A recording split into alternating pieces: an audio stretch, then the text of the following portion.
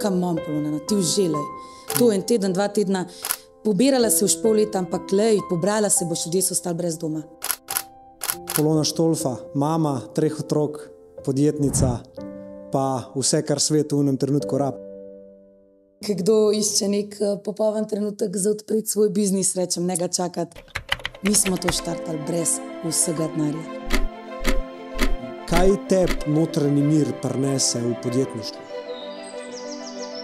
Če si ti notranje pomirjen, boš ti lahko pomagal tudi drugim. Lepo, res bravo. To je tudi Ja. meni tako lepo slišati. Bod do ljudi tak, ki želiš, da so drugi do tebe. Dobro, da se to cajt nisva videla drugače, ne? Ker bo še bolj spontano pogovor stekel, ker če bi se včeraj pa že tako vse povedala, pa pa dele razmišljala, da je to zdaj res zaigran, ker to sem mu že vse povedala, ne? Ja, ja, ja, se to je. Ja. To je, da sem se toliko na prejšnjem isto vprašal, z Mihatom, a ne Hrovatom. Sem tudi rekel, kaj je to dobro, ker se s človekom dolg časa ne vidiš in pride na podcast in tako res odpreš lahko tematike. Ja, jaz Ampak tudi ja. mislim, da to je to, kar dobro. Ja, uh, ja noč, Polona Štolfa, mama treh otrok, podjetnica, pa vse, kar svet v enem trenutku rapa, ne kdaj bi lahko rekel. Um, kar mi je res všeč pri tebi, že od vedno, je tvoja energija, pa kako kar na nek svoj način v paniki vedno najdeš eno rešitev, ki jo pač pol implementirate ali nekaj. Ne. Ko ali je to v družini ali je to v biznisu, se mi zdi ena zelo taka lepa vrlina, tako kot voda si. Hvala. Ja. Jaz sem človek, ki ne zna biti tiha, veš. Ni uno, uh, v, v situaciji, ki je stiska, nikoli ne moremo obmokati. Zmer moram nekaj povedati in včasih si rečem, da je bod, daj bod tih, no mašavi se zdaj, da ne rešuj sveta, ker včasih mogoče res, ni smiselno, ampak največkrat pa kar je eno, sam zdaj dobro, slabo, največkrat ki je dobro, no mene pa tako, do, do neke mere zna tudi obremeniti. Um, takrat, ko se res izpostavljam, takrat, ko niti mogoče ne bi bilo tako potrebno, ampak mm. ja, največkrat pa kar je, se probaš pustiti nek svoj vtis, pa pečat, pa vse z nekim dobrim namenom in to te na koncu dne pol napolne. a Ne, greš prazen spatno. Ej, ful ti hvala, da si, da si prišla. Vem, da je pestro obdobje zdaj le, sploh glede na to, da si iz Kamnika, ne? pa zlata ptička v Kamniku, pa delaš z majhnimi podjetniki, ki jih je koliko, več kot 50 postov trgovinci iz okolice Kamnika. Uh, ja, mislim, da je tudi iz drugih koncev zdaj le pač situacija res eh, srce parajoča na vse možne načine. ne. In dotaknila se je tudi tistih, ki se jih zdaj le fizično ni, a veš, se zdaj le se bo, bomo nekako plavali proti gladini še kar nekaj časa. Ne. Mm. In v kamniku je pač konkretno zlate ptičke ni, je pa vse okrog, pa res uh, gre srce na polno. To tvoje malo lepo mesto na določenih mestih dobesedno razpada. In um, mi smo se, če že sami nismo mogli biti v enem trenutku koristni, pač kar tako aktivirani tam na- na tistih delih, kjer smo lahko. Ne. Mm. In uh, sem si danes hvaležna tudi zaradi tega, ker sem. Um, mislim, se to tematiko odpirati zdaj je malo, fulje občutljiva tema in je kar izziv, ampak mogoče na ta način spodbudiva še koga, da da maksimalno zdaj od sebe, ker dejansko vse prav pride zdaj. Jaz sem šla na več koncev po terenu, um, skozi spremljam situacijo, zato ker smo, bom pol razložila zakaj. Uh, in vidim, da res vse prav pride, no, od materialnih dobrin, finančnih sredstev, fizične roke, vse. a ne. Tako da v tem obdobju res, kdorkoli lahko karkoli od sebe da, uh, naj se ponudi in naj pusti svoje in gre pomagati, no, ker je res. Ja, jaz sem tudi, uh, jaz sem klical Ano uh, Lukner, Rolič, uh, Anina zvezdnica. Ne? Um, in mi je eno zelo tako pač, dobro stvar rekla, ne, ker se s tem ukvarja že dalj časa. Je rekla, da to ni nekaj, kjer bojo ljudje rabili pomoč zdaj, a ne da bi mogli zdaj vsi navaliti, pa ne vem, pa uno gor dol tretje. Ta pomoč se bo rabila dalj časa. a Ne. In je rekla, da tudi uh, glede podcasta, pa vsega sem rekel, da bi prišla, pa pač tudi ti kaj povedala glede tega, kako lahko ljudje pač pomagajo. Itd. Je rekla, da je malo kasneje mi dva to narediti, ker bo folk pač rado zaspan. In bo je rekel, ok, jaz sem zdaj svoje naredil, uno sem doniral. Je pa zelo pomembno, da tudi v tem času, ko začne ta unema padati, ljudje še vedno rabijo pomoč. ne, In da tudi takrat dvignemo. Um, in ja, se mi zdi, da vem, podcast, glas, karkoli je prav, da, da se te zgodbe malo delijo. Uh, Jaz tudi mislim, pa na en, en tak empatičen način, veš, kar marsikoga lahko ja. hitro prizadeneš in je treba danes fulmirkati na katerem kanalu, kako se oglasiš. Mi smo se pač takoj vse svoje kanale, vsa socialna mreža smo v bistvu obrnili pol čisto v to smer, da smo pač prvič informirali ljudi, drugič smo takoj ta prvi dan že ponudili to uh, hito, našo nesojeno hišo, v kateri mogoče več pol kasneje. Um, in so se ljudje odzvali, ker dejansko so ljudje ostali brez doma in nas, na, nam se je nam, namreč obrnila ena družinca, ki jih niso nikamor, nikjer jih niso vzeli, zato ker imajo živali. Ne bi jih vzeli, ampak ne pa z živalmi. In um, sem vesela, da je končno ta hiša prišla v en dober namen in so si zdaj do, gor doma ustvarjali skupaj s tremi kuški in s tremi mucki. In uh, vsak dan pokliče, kako so hvaležni. In to, to je tisto, kar te ta trenutek drive, kljub temu, da ti je še vse. A veš, mehen podjetnik, ki si, se ti vsak dan paca prometa pač pozna, si tako skoraj da ne na nuli, zato ker ti tako delaš z mehnimi denarji in vse šteje. Pri nas par dni praktično ni bilo noč, veš, kamnik smo ugasnili in tudi tisti, ki smo se lahko. Ko smo se bili pripravljeni, smo se aktivirali, tako čisto v drugo smer. In še, ki si za trenutek v dnevu pomislil, na se, ti je oglasila slaba vesta, veš. Jaz si nisem drznila sama sebe zasmiliti, ker si mislila, da je kam mompolo, ti uželej. To je en teden, dva tedna, pobirala se už pol leta, ampak lej, pobrala se boš, ljudje so ostali brez doma. Veš, kaj je to, da staneš brez doma? Jaz ne glede na to, kako grem turbulentno čez dan, prijem zvečer domov, domov in tam se počutim varno in vse je v redu. Hmm. Ljudje so ostali brez doma.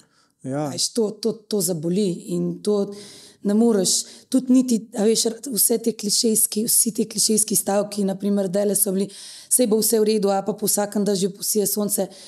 Takim ljudem ne moreš v tem trenutku tega reči, ker mm. še dodatno, po moje, zaboli. Ne moreš, ker pač priti tja in reči, pač res je težko, ampak le sem zate, dajmo, bomo pomagali. Mm. Vem, da je težko, ne, ne vse boš, imate to, ne moreš, imate to. Tak, ja. Tukaj se mi zdi, da v teh situacijah je potreben čas, ki bo za celo rane. Vse se bojo vsi postavili na noge. Lih danes sem rekla, naj se je čez deset let. Posneli smo fotko za sebe mm. in smo rekli, čez deset let se bo usedle na balkon s čistimi rokami, odprle pivo in rekla, se spomniš avgusta 2024, ko smo tam letos rekli. A veš, vse bo čas za celo rane, pa tudi skup, skupnost. Mene tudi navdihuje ta močna skupnost. Slovenci res znamo skupaj stopiti takrat, ko ja. je treba.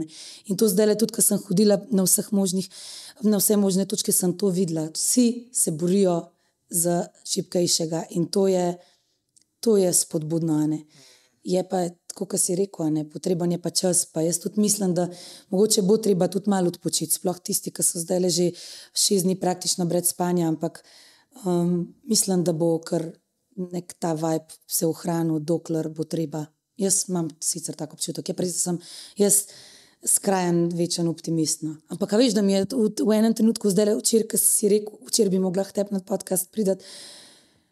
La, danes lažje govorim o optimizmu, ker vsak dan je zdaj tudi lažji, ker smo se mal navadili nekako s tem živeti, vse daš od sebe čez dan in to te zapolne konc dni ampak te pa psihično obremeni. Ne? ne glede na to, koliko delaš na sebi, koliko delaš na, na osebnostni rasti, na to ne moreš biti pripravljena. Mm. In tudi, če nisi samo upeta, jaz sem ful, uh, empatičen človek in mene se je vsaka zgodba, ki sem jo čez dan ujela, mene je obremenila in tudi sama nisem iskreno spala zdaj le. Težko je mi to razumeti, krivično se ti še vse zdi, da vidiš, kako ljudje trpijo pijo.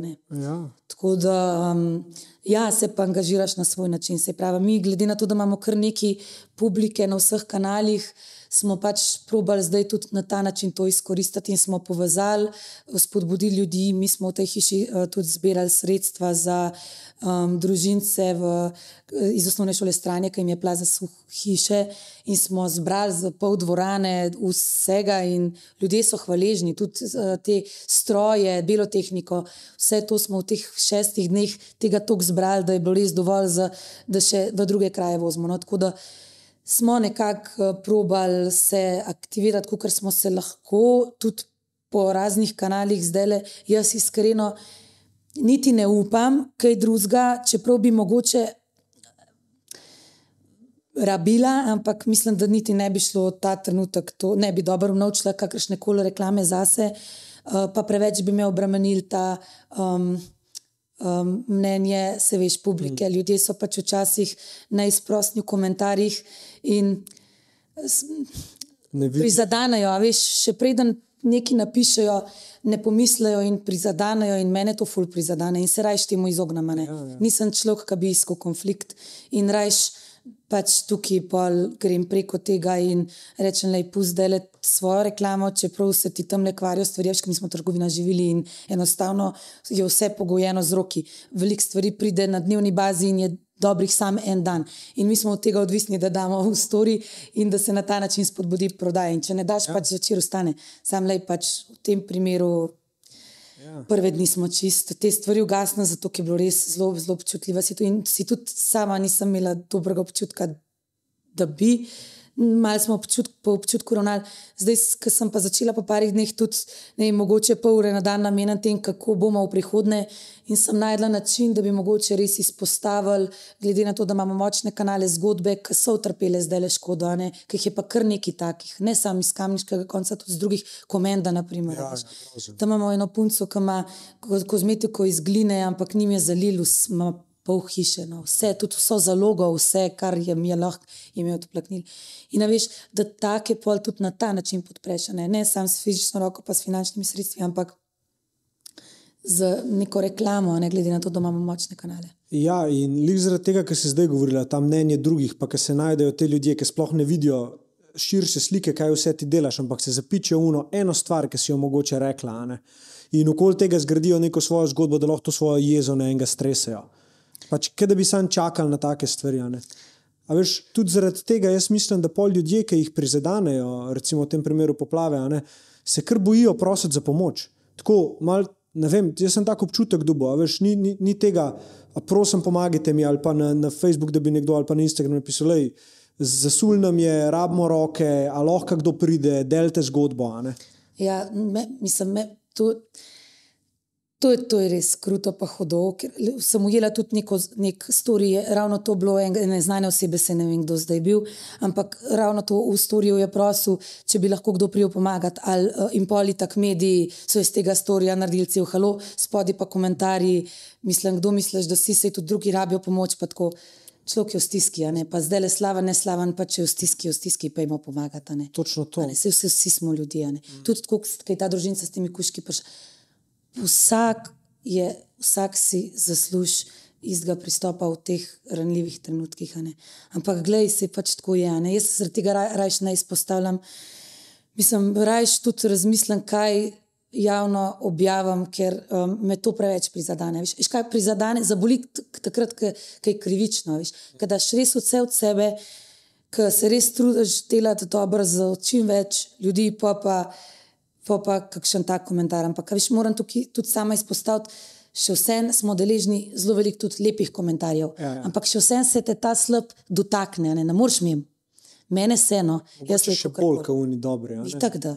Itak, Tisti dan neke motivacije. Pa, vem, mi smo imeli tudi v spletni trgovini naročilo, ne vem, seta čistil, pa so spodaj napisali zgori, smo videli, da zbirate sredstva, vem, da ni veliko, ampak je pa neki. Kaj tak naročil dobiš, pa ga daš pol tako zraven. Tja. Veš, to te res je, res je lepa spodbuda, pa motivacija. Sploh takrat, ko si tudi sam ranljiv, pa občutljiv, veš, pa se trudiš biti ne za druge, da si nekako optimističen za druge. Ampak Dele, noben, mislim, če imaš, če zmoriš vsaj malo tistega človeškega sočutja, zdaj le nisi mogel biti dober. No. Mm. Jaz mislim, ne vem, no, dotakne se te na fertika. Mm. Da... Ja, jaz, jaz sem klical, kaj je bila sobota, sem klical nejo zjutraj, ker sem slišal, da je ta območje, da je bil huta. In sem klical in sem upal, da bo rekla, ne, veš, smo v redu, no, gor dol, ni nikle noč, mi je sam rekla, lahko nam čez. Um, čez spoden štuk voda teče, reka teče.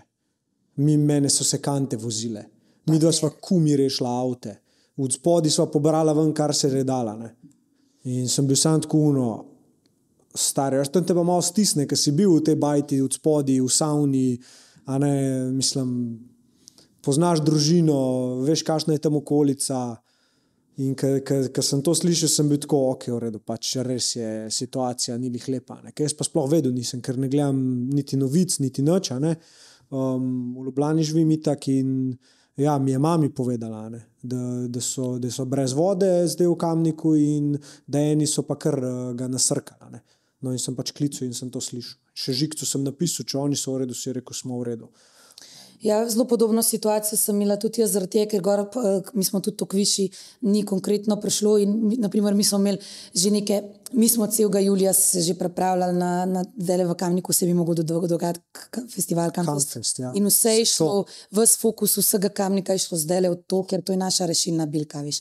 Mi v enem tednu pač pokrijemo tisto razliko za nazaj, ki Juli te pač useka, in tako da te, ne pač to pusti so in vse. Ja. In podjetje je mehko in že tako si eh, težko pod nulo. Mi smo že nekaj časa nekako plavali po, po, po gladini in smo vse karte stavili na ta kamfest. Mm. In tako je ta fokus, jaz tudi izolirana od novic in zjutraj. Um, mi smo pa še za ta vikend tudi brezplačno poštnino um, naštimano v mailu. In pol. Uh, jaz se zbudim, že vidim na skupini neki ukamnik, že drž, drž, drž, ok, rečem, da je pa pa da imamo ta vikend res to brezplačno poštnino speljati čez zrte, ki bo drž.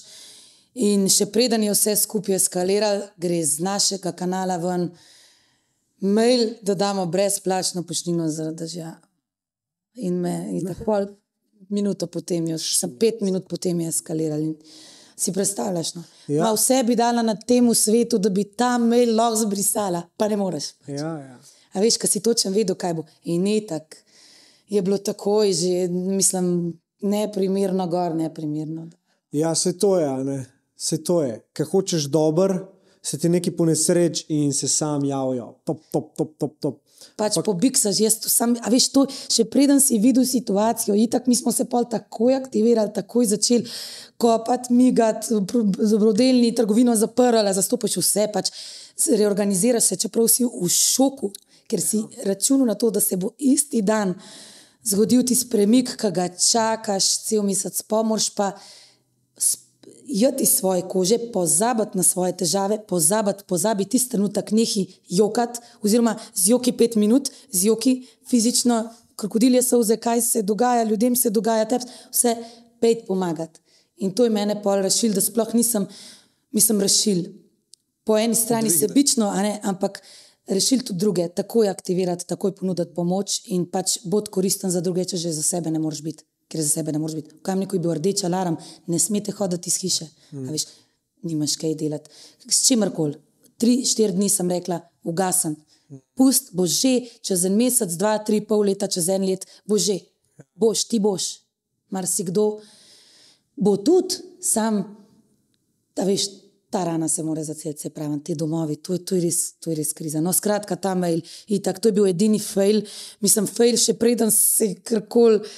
Zgodili smo ga mi že po Bixel, tako da okay, to je bil ja. bolj. Je, bil, je pa res, da je bil tudi ta mail streznitven, ne razmišljal se. Mm. Naredila si to, to, to, kar je, je, zdaj nimaš kaj, zdaj se pa aktiviri, pa pomagi. Veš, pomagati to v takih situacijah, da sam sebi zaupaš, da si hotel najboljš, ne glede na to, kako je to izpadalo v očeh drugih. In ti definitivno to pomaga, da pol lažje to prebrodaš, da se ne aktivira krivda preveč ali karkoli, da bi se praktično sam sebe dol tišil zaradi nečesa tazga, ki se je zgodil, pa ni, ni bilo namerno. Iskreno, jaz mislim, da sem zaradi tega se še bolj, uh, še bolj dobrodelno angažirala, še bolj. In tako bi se, ampak zaradi tega sem se še bolj, ker dejansko se mi je na vest to usedala. Veš, jaz sem dejansko občutila občutek krivde. Pa ni bil slab na meni, ni bil, ni, a veš, vse, ki me poznaš, veš, da se ne bi okoristila na ta, ne bi se v life okoristila. No. A veš, sem še vsem pa je, se je, pri meni se je vzbudil tisti občutek, ki ga smo imeli. In sem se zaradi tega še toliko bolj angažirala in se tudi pač naprej bom, ker dejansko je enostavno, klele nas smeš razmišljati. Pač Se... Je, nisi v enostavni poziciji, tudi ti in marsikdo zdaj le ni. Veš, sej, spoh, veš, sej, vedno v takih situacijah se vedno najbolj dotakne, pač najbolj useka ta mala podjetja, veš, mehne podjetnike. Vse je velikih, ne, ne, v končni fazi, mislim. Ja. Največkrat tam male, no, in ki si tako odvisen od vsega dne posebej. Ampak se pravim, jaz mislim, da se tudi tukaj zna najti neko, nek način, da ob dobrodelnosti to lepo na, normalno naprej pelemo. Moš pa počakati par dni, ja. da se vse skupaj umiri, pomagati, kjerkoli lahko, in pol še ta del noter upeljati. Ja. Če ne drugega donirati, stvari jaz pa nas smo donirali za kuške, veš, um, stvari od kukija, ki smo jih ful težko spustili z roka, ne veš, koliko so bile navezane na njega. No, in sem bil ful ponosen na eno, ki je rekla: pelem stvari do zavetišča, za kuške, imela je neke uh, hrano, priboljške, um, te uh, suplemente za kuške, pojsteljco itd. Ne. Pa je mala, veš, ampak še zmeraj unotko, lej. Ti pa pomeni, ne, ti pa pomeni. Itak, ne, pa obleke, pa ne vem, tako stvari. Itak lahko nekaj tudi nakažeš, vse živo. Sam enim že dosto pomeni, da ga pokličeš, pa rečeš, da ti pač pomagam, ne vem. A lahko kaj naredim. Ja, točno to, da ponudiš klesen za te. Sam to, da veš klesen za te. Drugače pa veš tudi, meni se tu zdaj le, ogromno krat veš, koliko krat sam doniraš. Pač, don, jaz, moja mama mi je rekla, dobra dela se dela v tišini.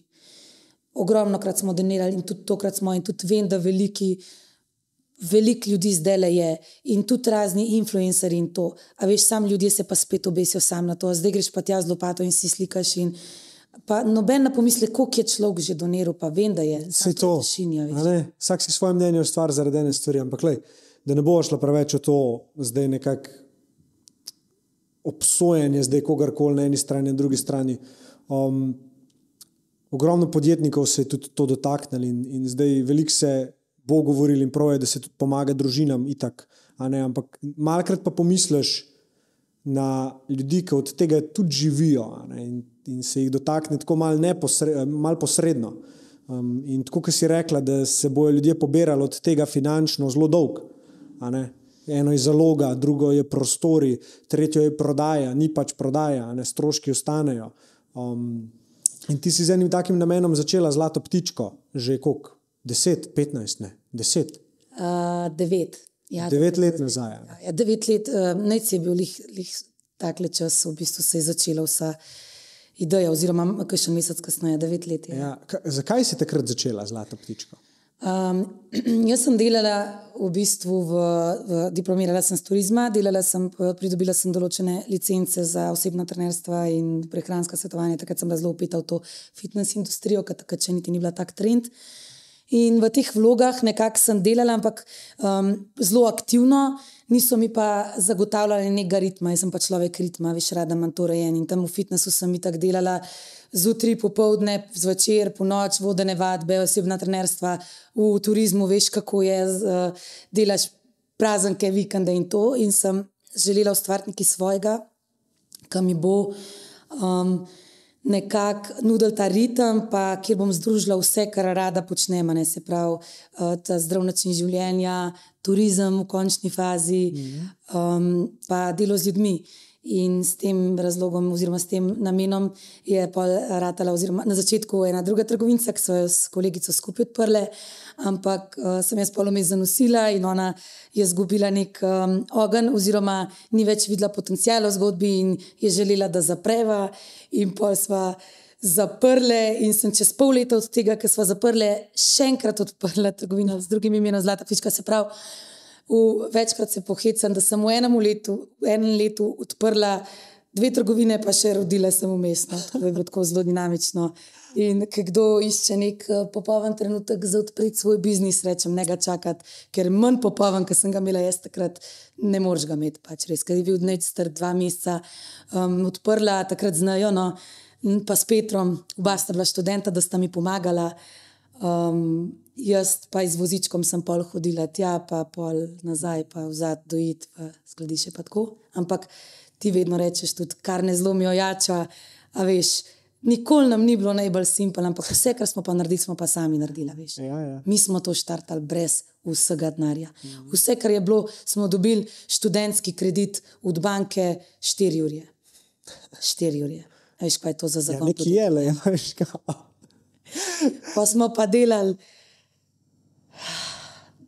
pol leta, 300 evrov, a pa ne, vem, 300 pa do 500 evrov prometa na dan, s povprečno maržo 30%, mm. tudi med. Kako moraš to narediti, da se ti na koncu kaj pozna. To je še danes drugače. Tako kot pri nas rečeš, ni najbolj une uh, podjetni, podjetniške uh, raci, racionalizacije, ampak jaz sem full neanalitičen, pa neracionalen tip in to me rešuje. Veš, to me full rešuje. Jaz full rada delam to, kar delam, pa dobro delamo, pa dobro nagri, dober je promet. Ja. Sam na koncu pa neč ne ostane. Ja, ja. Je pa, ustane za, za plače, da imajo zaposleni lepo plačo, pa da imam jaz spodobno plačo, a veš, in to nam ta trenutek zadošča. Ja, ja. Dokler, uh, dokler se ne zainvestiraš, ko misliš, da ti bo še naprej dobro šlo, in uh, vzameš kredit in kupaš hišo, zato ker rabaš, kot ti, vsi- ti pravijo, tudi zaposleni, rabimo nove prostore in kupaš hišo, brez da bi delal poslovni načrt in analizo, in za nazaj in za naprej, in pol te pa in tako odnese kamor te. ja, ampak še, še kar imaš hišo. ne? Ja. Še kar V tej imaš. hiši Ja. je zdaj ta družinica, hvala Bogu, je ta naša hiša končno najdla nek namen, ker zaradi te hiše sem jaz prvič v svojem življenju dobila napad panike, ker pač nisem vedela ne kako naprej, ne kako nazaj, ker smo padali 100 jurjev v minus in sploh nismo vedeli, kako.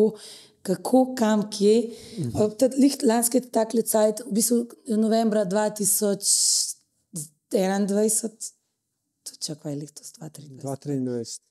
2021 smo kupili, in pa je prišla ta inflacija, in mi smo računali na to, da bo lepo eksponentna rast še naprej.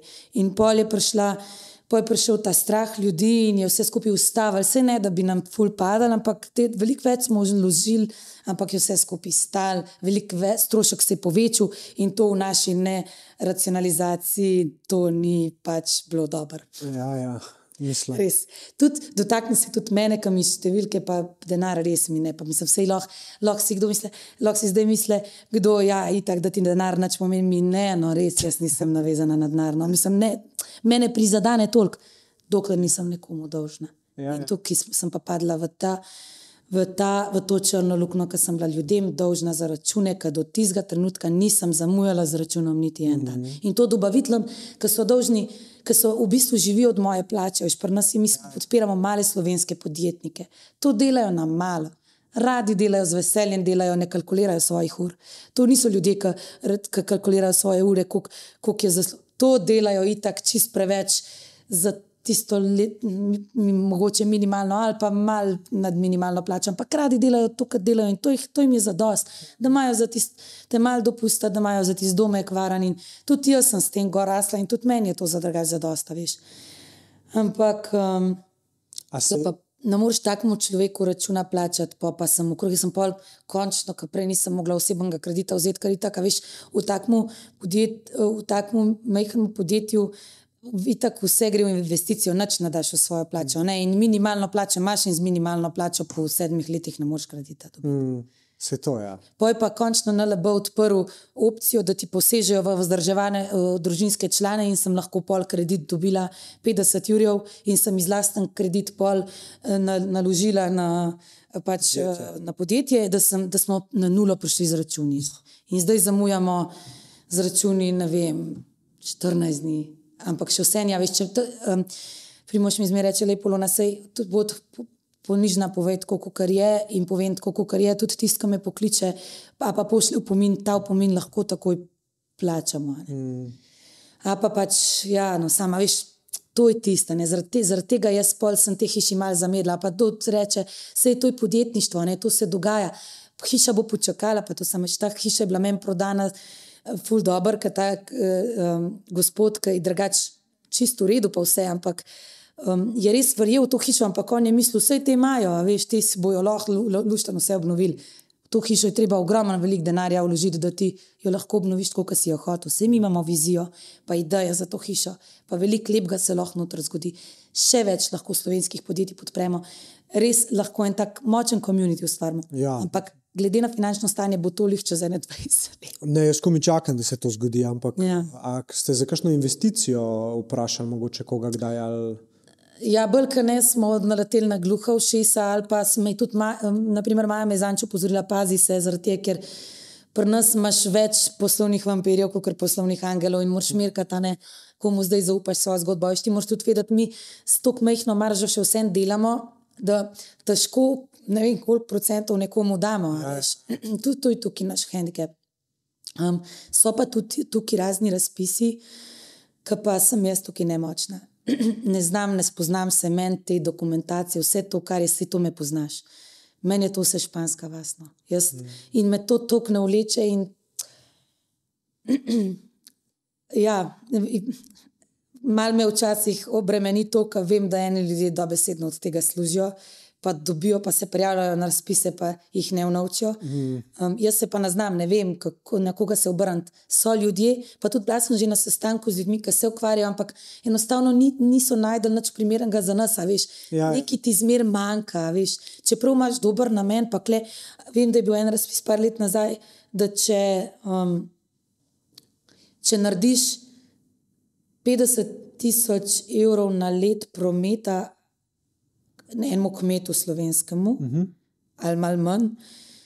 Če petim kmetom narediš 50 tisoč prometa um, letno, da dobiš neko res lepo subvencijo za, za, za rast, za investicijo. Hudo. Mi naredimo 20 kmetom tok prometa. Pa kaj ne gre čez? Ali je bilo 10 tisoč, 10 tisoč letno. Ma mi enim naredimo. Res, res, res lepo podpiramo ljudi. No? Ja, ja, govorim, ja. To, res to govorim brez slabe vesti, ker vem, da delamo ki se slišim s temi ljudmi, najbolj mi je všeč, ki mi napišejo, da je hvaležni smo, veš. Ker vem, da so to ljudje, ki so z mehkim navajeni živeti in nič ne kalkulirajo. Mm. To niso ljudje, ki se z mano pogajajo. Mm. To bi dal še od sebe, bi vzel, pa da bi dal. Mm. Zdaj le so taki klicali, kako lahko pomagamo. Mm. Taki, ki težko od sebe vzamemo, naprimer, vzamejo. Pa so donirali, veš, pa domače marmeladke, pa piškotke, pa take stvari. Ja, ja.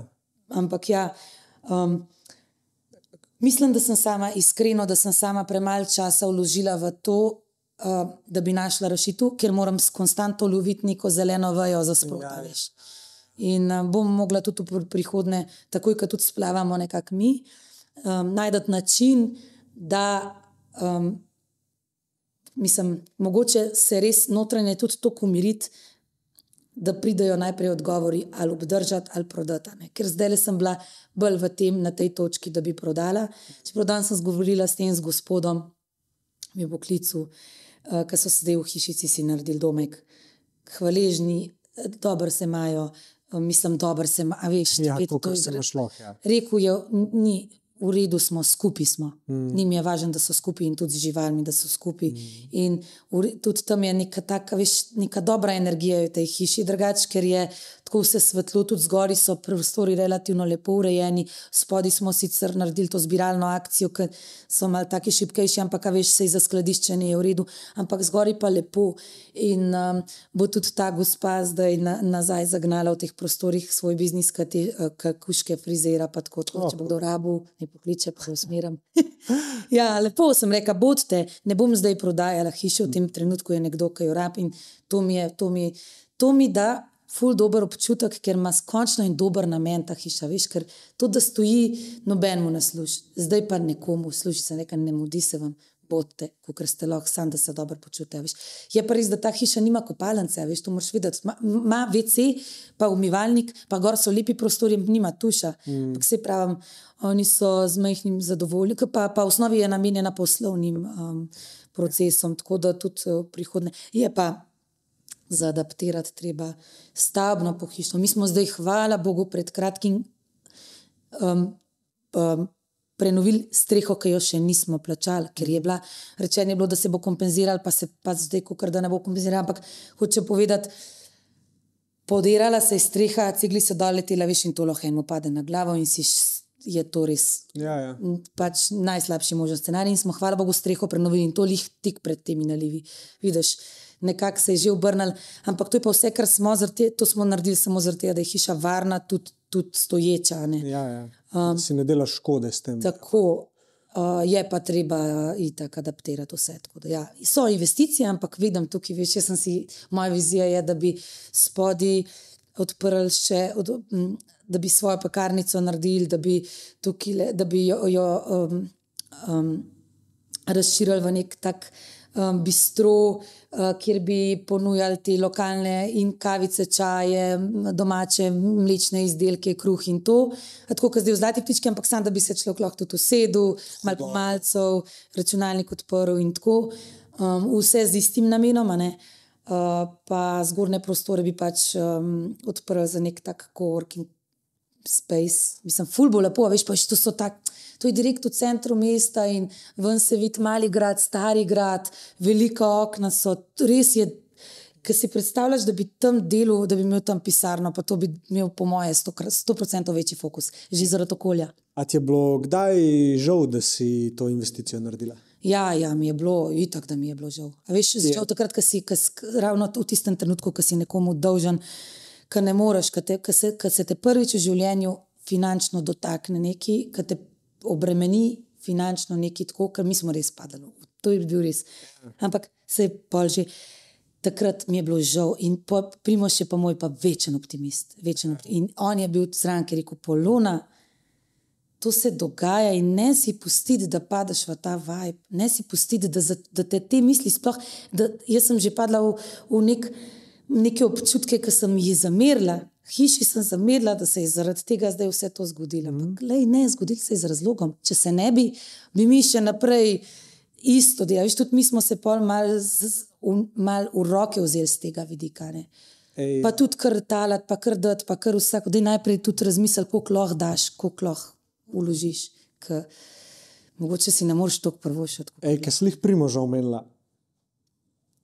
Kako se ti zdi, da ti pomaga to, da si v življenju najdeš res ta pravega partnerja.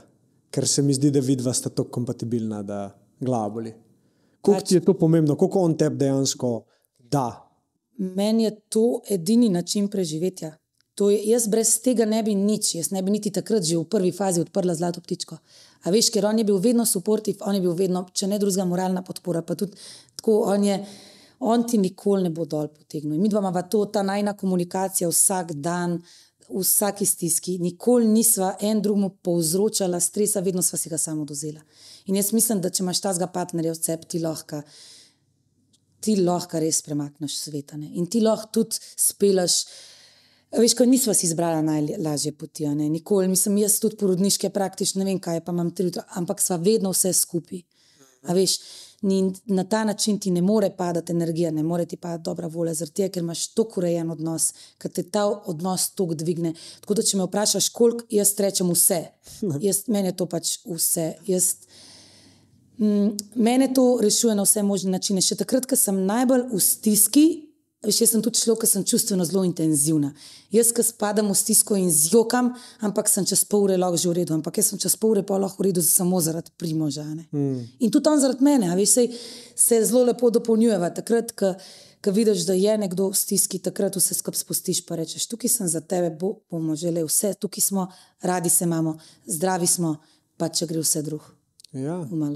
Tri otroke tri otroke, tri čudovite otroke.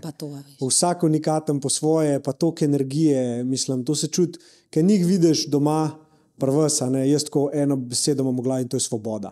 Tako pač čuno, je razmetan, je, ne vem, do tela postedi, ampak to nima veze, ker oni pač se imajo v tistem trenutku dobro, so varni in to sta jim vidva ustvarila. Ne?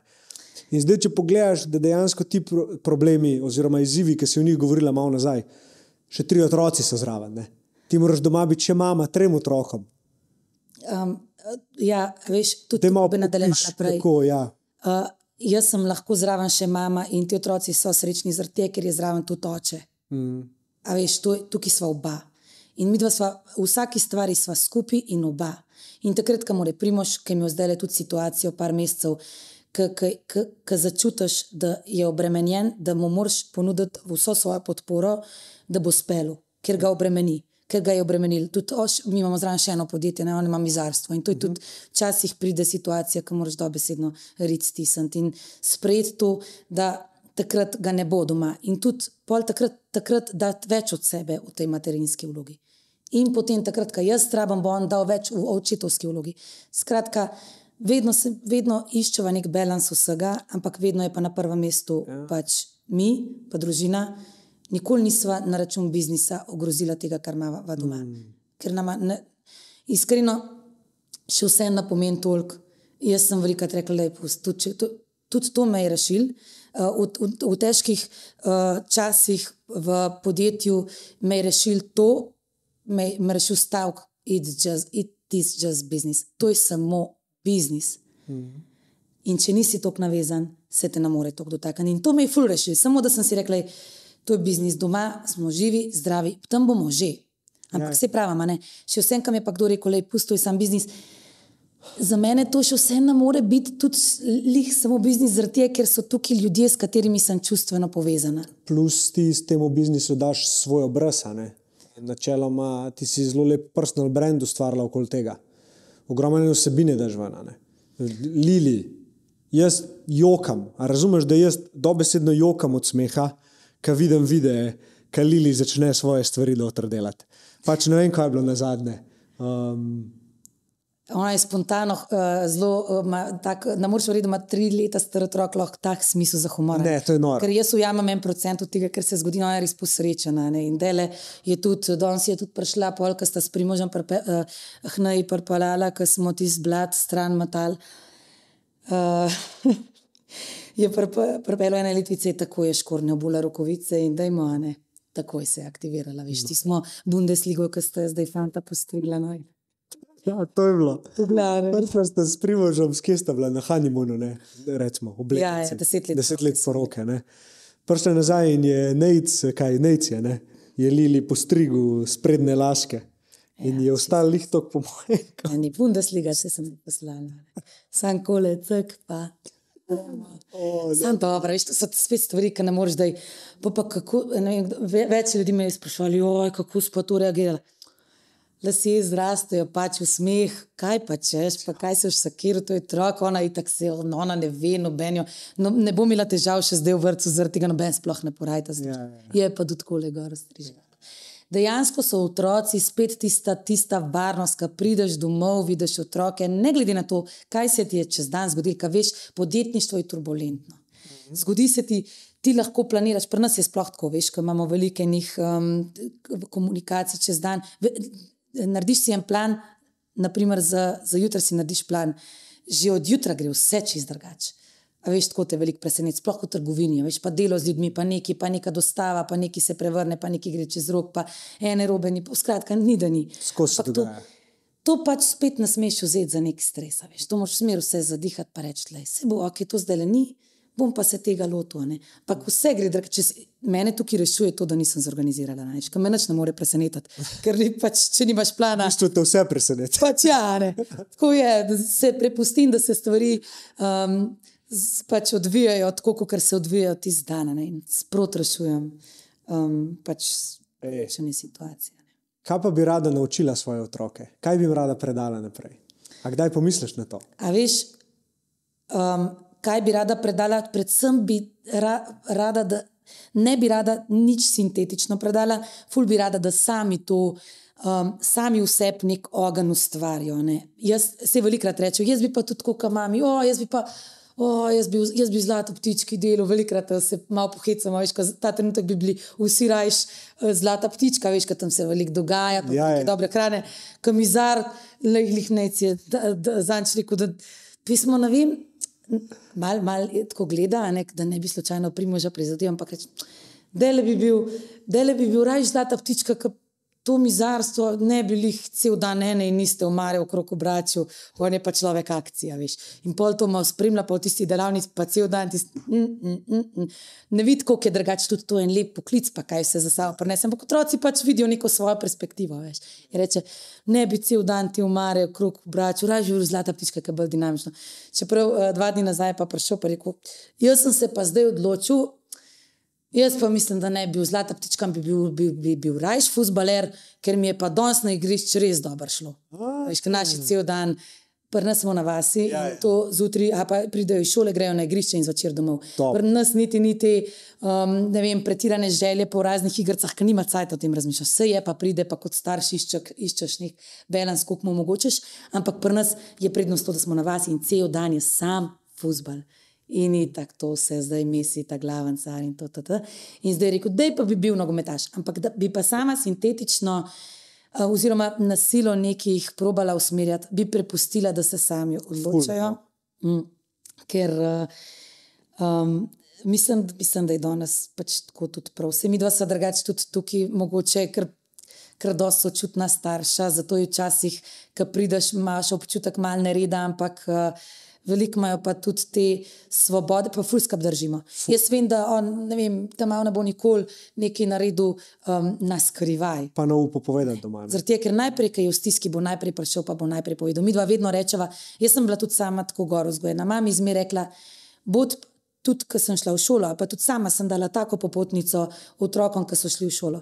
Bod do ljudi tako, kot želi, želiš, da so ljudje do tebe nazaj bo prijazen, pa ponižen, pa do vseh enak. In me je ful, um, ganil enkrat, ko sem dobila uh, sporočilo od enega učitelja iz um, osnovne šole, ki sploh ni neče učenec, ampak je porajal, da je en otrok se v stiski znajdu. Um, ali so mu eno puščico na tla vrgli, pa se poznijo neki, skratka, ne vem, kaj bo že s tisto puščico, skratka, v stiski je bil otrok, je bil malce šipkejši. In mi je napisal učitelj, da ni mogel verjeti, da je nec prišel zraven um, in mu je pomagal, kljub temu, da so bili tam ti uh, otroci ali prijatelji, ki ne vem, bi mogel tudi pred njimi dobro izpadati. On je takrat presodil, da je on šipkejši in da da pomoč. In v tistem trenutku sem, sem primož oklical, sem nekaj primož tole se je zgodilo in vidiš. Je že očitno že nekaj dela, da je dobro. In to je tisto, kar mi največ pomeni. Bolj kot to, da je v šoli ponižen in pridan in, ker pač pri najcu je velikrat tako, da je bilo tudi treba na govorilne ure, ker je bolj dinamičen, pa se malo okrog obrača, pa klepeta. Ampak jaz vem, da bo to otrok, ki bo svet na dobro premikal. Ker vem, ker je sočuten, ker je, že, ker je bil 3-4 leta star, je na film Joko. Ja. In tudi to, da jim, da jim svojih dejansko sanj, recimo zlate ptičke, ne vi boste pa nasledniki tega, pa boste poskrbeli za družinski biznis, razvija. Tako nimam tega občutka, da bi, a veš, kaj ni starši, kar govorijo, da ta bo pa naslednji tišlar ali pa ne vem, kar koli. Ni tega in se mi zdi, da je to zelo lepo, ker se dejansko povezuje s tem, kar si prej rekla, da ti je zelo pomembno, da sami odkrijejo svoj ogenj. Ne? Jaz mislim, ker ti si ga, a ne. Ti si ga, ti si pač zlato ptičko ustvarila iz nič, nisi imela prej nekega vzorca ali kar koli, nisi vedela, kako se to dela. In si pač šla čez ta proces. In verjamem, da jih zaradi tega procesa si tudi zgradila to, kar si zdaj. Ne? Pa bi te kle samo vprašal, kako se tvoj zakaj na začetku, ki si odprla zlato ptičko, razlikuje od zdajšnjega zakaja. Torej, zakaj to delaš? Um, v bistvu čistnač. Uh, čistnač. Jaz sem še zdaj zmer. Jaz sem še zmer. Jaz, čist na istem nivoju, kot sem bila takrat, od, ko sem odprla pa, in to z istim ognom, zato ker še zdaj ni, ni se pravi, ni stabilno. Ampak jaz mislim, da ravno to stabilno stanje se ne sme zgoditi. Ne? Ja. Moraš, moraš, moraš skozi dobivati nove izzive. Tako je za me zdaj to, to stanje, pa s to hišo, da, da, da rasteš v ta pravo smer. Jaz mislim, da ne. In tudi nič ni drugače tudi finančno ni nič drugače. Isto, v bistvu, samo takrat je bilo minus mal manjši, ampak je bil tako manjši tudi promet. Skratka, v, sama sem popolnoma istem vibu in popolnoma v istem ognju. Ja. Ta trenutek. Mogoče sem v enem trenutku ga zgubila že mal, je vse skupaj preveč enostavno ratal.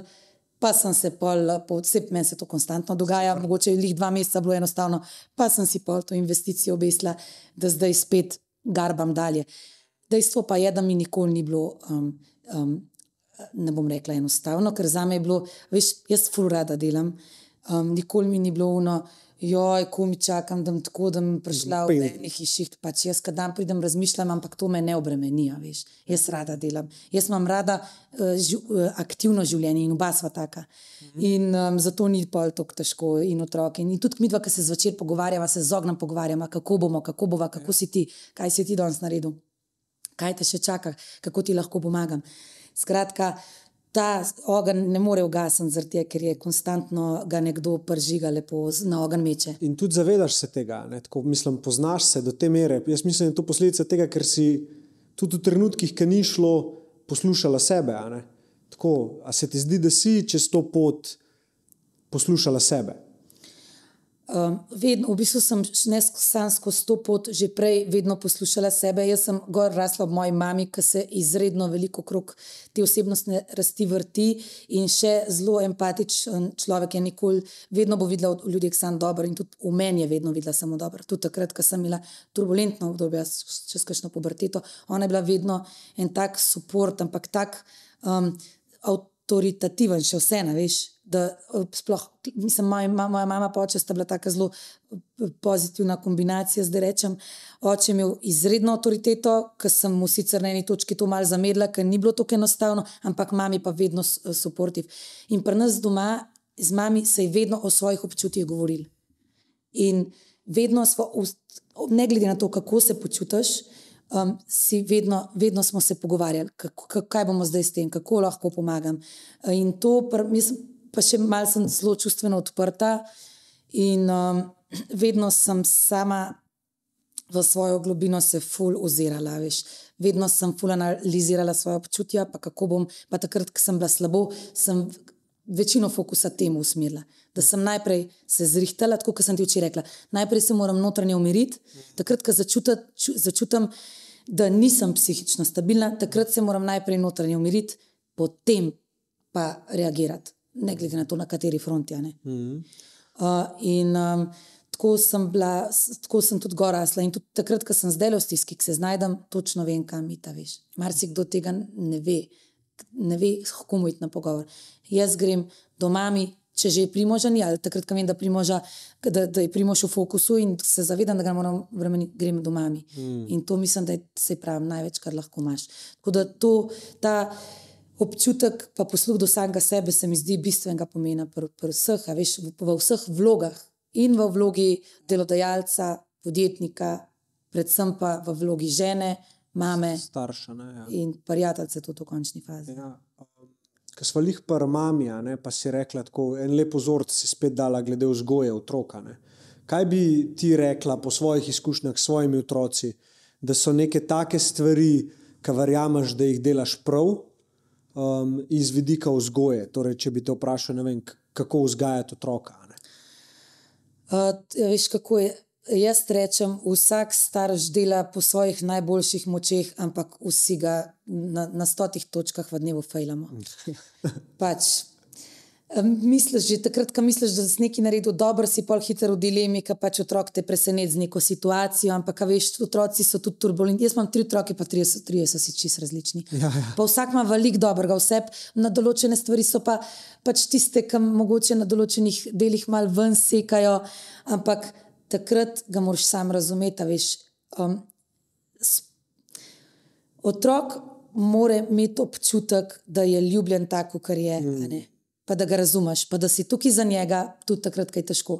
Ampak takrat, ko si sam v kakšni taki in drugačni stiski, je včasih težko otroka razumeti, ki nekako reagira v neki svoji intenziteti.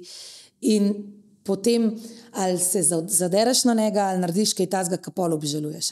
Ampak to vsi smo sam krvaji pod kožo. In v teh primerih pa ga kot starš pofejlaš. Takrat, ko sam nisi stabilen in potem prideš domov v eno situacijo in jo ne moreš tako speljati, kot vnaprej načrtuješ, da jo boš. Ja, ja. Se pravi, da si pomirjen, da pomirno pristopiš. Da, da ne greš v nekem afektu, sej eh, pač jaz vedno, nikoli v življenju ne bi šla s fizično roko. To ne bi. Ja. Pač, ne, ne rečem, da je tako prav, da ni tako prav, tako čutim, da jaz, da jaz to ne morem. In niti si, si ne bi drzala. Mm. Ampak že, ta, um, že to verbalno čustveno nasilje se hitro lahko zgodi. Zaupiješ na otroka, ki ga, ga res pobiksa. Ampak v večini momentov si sposoben zadihati, pa to speljati, tako kot je prav, pa, pa s komunikacijo. Ampak, uh, včasih pa tudi ne. ne. Mm. Pa ti spodnese, spodnese, pa reagiraš drugače. Ampak se pravi, jaz mislim, da je tudi večino konfliktov v življenju se zgodi ravno zaradi tega, ker pridajo več ranjenih ljudi na kup in pol. Vsak s svojimi problemi, drug, z vsak svojimi problemi se obremenjuje en drugega. To pač tako eno. In to se tudi v družinskem okolju in doma zgodi. In ti se pravi, zato sebe na prvo mesto, potem družino, veliko se pogovarjati, mm. pa v miru, mir. Jaz, mojem glavna življenjska misija je iskanje notranjega miru. Bravo. Ker če si ti notranje pomirjen, boš ti lahko pomagal tudi drugim in boš lahko ljudem dal dober, samo dober. Če nisi noter. To, to si tako lepo rekla. Jaz sem, jaz sem to čez workshop odkril, čez delavnico, ta prvo, ki sem imel, ne udeležence. Sem mislil, kako se bomo mi pogovarjali o marketingu, o strategiji, o prodaji, o tem, kako biznis postaviti, zapeljati, kakšne nove kanale noter dodajati. In v bistvu sem si pustil pač sam biti jaz, pa vidim, kje bom ljudem lahko pomagal. Ne? In sem opazil, stari, da so bili ljudje tako notranjo res nemirni. In da, ko si jim enkrat začel to tematiko odpirati, notranjega miru, ne, da si vzamejo čas zase, da zadihajo, da ne grejo na silo v neki, pa iščejo, pa drugi delajo, pa pol oni to isto naredijo. Ampak da probajo sebe razumeti, pa se poslušati, pa nekako si dati prostor, da lahko oni ratajo kreativni, ker se zgodi samo, ker ti pač poskrbiš zase, ker si v dobri energiji, ker nisi preobremenjen, ker niso misli posotane. Takrat se je začelo odpirati. In mi je ful dobro, da si to rekla, ker me, bi, bi rad, da se malo dotaknemo tega notranjega miru. ne. Ker je nekako mal tabujevsko, sploh v podjetniškem svetu, ne, um, ta notranji mir, ker je konstantno akcija, konstantno hustle, kaj je druga taka beseda. ne. Um, kaj te notranji mir prenese v podjetništvu? Um, takrat, ko si notranje pomirjen, boš vse boljš naredil. ne. To je dejstvo. Ja. Um, zelo velikrat pa nisi notranje pomirjen, a ne. zaradi tega, ker se boš najprej lotil reševanja problemov, kot da boš vložil čas v to, da boš najdel ta notranji mir. Vse to je največkrat problem. ne. Kako si ti ozavestila to in začela delati drugače, se mogoče spomniš? Um, Itak v vse, v vsem pogovoru, pa vsej komunikaciji, ampak to je bil nek, nek plot vsega dela na sebi, ki se je pri men- pri meni začel dogajati že vem, pri 16 letih. veš. Jaz sem že zelo velik, že zelo dolg časa nazaj začela prvič in z mami te tematike odpirati, ker moja mama je, ne vem, ne, nima Facebooka, nima Instagrama, ampak ne vem, razne podcaste, knjige, vse to, ona to prakticira že cel svoje življenje. Hmm. In jaz sem ob tem gor rasla, lahko rečem, ampak nikoli mi ni rekla, to moraš. Jaz sem jo kar hmal začela spraševati, kaj to imaš, kaj to poslušaš. In um, sem začela, z, ne vem, pri 16 podjetniško sem odprla, jaz sem odprla zlato ptičko, edina moja. Edino moje znanje, če lahko to tako rečem, oziroma izkušnje so bile iz knjige o Tim Ferrisa, Four Hour Workweek. Aj bil, aj Four Hour Work. Mislim, da je. Ja. Ta, ta knjiga, to knjigo sem prebrala in to je bil edina moja stvar, s katero sem izhajala, ko sem odprla zlato ptičko, brez osnovnega znanja. Ampak jaz mislim, da je bilo to popolna, popol, popolna odskočna deska, tega, ker, je, ker sem jaz že v, iz prve točke, v prvi fazi želela odpreti podjetje, a, v katerem bom že takoj razdelila naloge. Se pravi, kako bom že takoj zaupala in predala odgovornost. Mm -hmm. In točno to sem naredila. To, da sem bila pa še tro, do, nosi, uh, ravno rodila z mehkim dojenčkom, to mi je pa še olajšalo situacijo, zaradi tega, ker sem enostavno, bila primorana spustiti, ker prvo leto je pač mama, le mama. Uh -huh. Prvo leto ti oče je lahko podpor, ampak ne more ti biti tak, ker si še vsem od dojenčka, ki je brkane na te navizan. Ja. In jaz sem bila primorana predati odgovornost. In to je bila moja prva točka, ki se mi zdi, da lahko to lepo povežem, k notranjemu miru. Uh -huh. Ker sem že takoj, ko sem podjetje odprla, najdla trenutke v dnevu, ko sem se notranje umirila, za dojenčka. ne. Si dala, ker si namenila čez sepa. Ne? Tako. Oziroma, ja, kar kar umiral. Tako da, um, ja, to, to, je bila, to je bila ena tako lepa izhodiščna točka, potem pa tudi vsi pristopi, ki ti vmes pomagajo. Ne. Ja. Narava, šport, se jim moč najti. Deva se tega dotakniti. Ja, Narava, jaz tukaj ne. sem dala vedno sama sebe na prvo mesto. Jaz sem tukaj mogla dati, ker sem vedela, da bom, da bom samo tako lahko vse te procese sfurala, pa da bom, lepo, pa da bom zraven še vzdrževala ta notranji mir, pa um, energijo v končni fazi. Ne? Ti rabaš moč pa energijo, ti si ne moreš prvoščiti, da ti pade energija.